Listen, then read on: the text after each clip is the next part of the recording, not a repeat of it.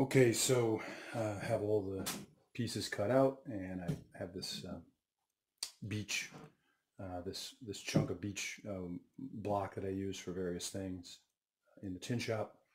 Uh, I'm going to carve out some uh, depressions in here to form the uh, apples and the pears, and um, I'm going to light the wood stove. It's a little bit chilly today. Let's get to it.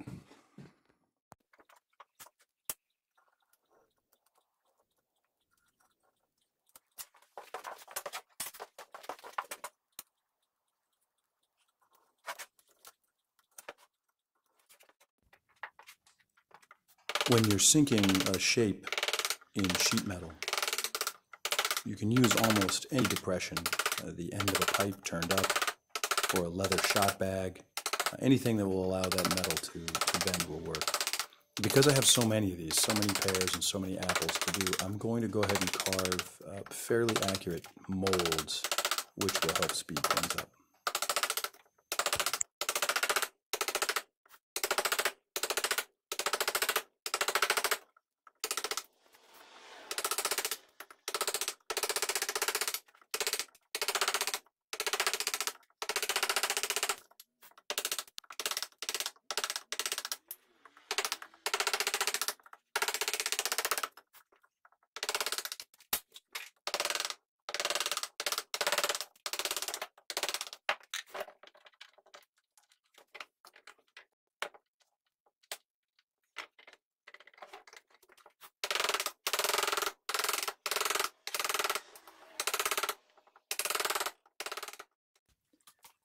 Both sinking and raising progress in the same manner. Here you'll see I do seven courses, uh, seven laps around the form.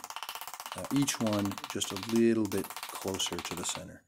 Uh, you don't want to put your piece down and just rail into the center of the of the form. Uh, you want to go all the way around the edge, get the whole edge completed, um, and then slowly circle inward. So here you can see all seven courses.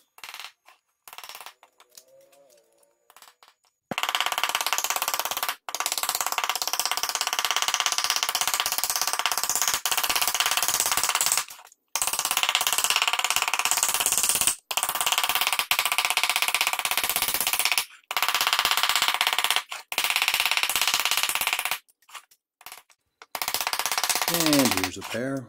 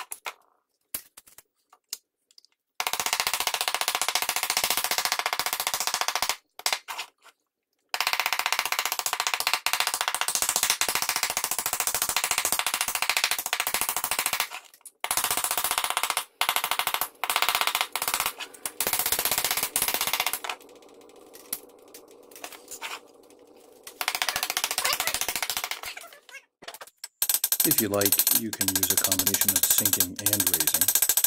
Um, I just put a little half round thorn in the vise here, and I'm using some raising to clean up the uh, major bumps and lumps.